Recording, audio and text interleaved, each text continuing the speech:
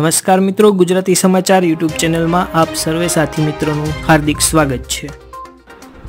ભાજપનો થશે સફાયો, થયું ન થવાનું. ભાજપનું ગણિત ગોટાળે ચડ્યું. શું ગુજરાતના પાટીદાર આંદોલનની જેમ ખેડૂત આંદોલનની પણ અસર યુપી ચૂંટણીમાં દેખાશે? અમિત શાહના ચહેરા પર હવે થાક દેખાઈ રહ્યો છે. ચૂંટણીના ચાણક્ય ગણાતા અમિત શાહે બે હજાર ચૌદની સામાન્ય ચૂંટણીમાં યુપીના ભાજપને એંસીમાંથી એકોતેર બેઠક અપાવી હતી. અને બે હજાર સત્તર વિધાનસભામાં ચારસોમાંથી ત્રણસો પચીસ બેઠક મેળવી હતી.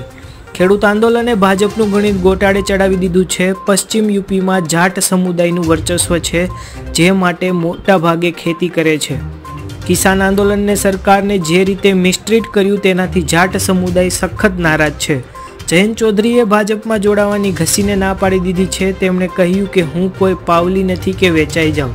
આમંત્રણ આપવું હોય તો એ સાતસો પરિવારને આપો જેમના ઘર તેમણે ખતમ કર્યા છે.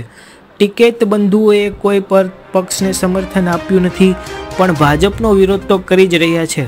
હાર્દિક પટેલના પાટીદાર અનામત આંદોલનની અસર તે પછીની સ્થાનિક ચૂંટણી પર થઈ હતી.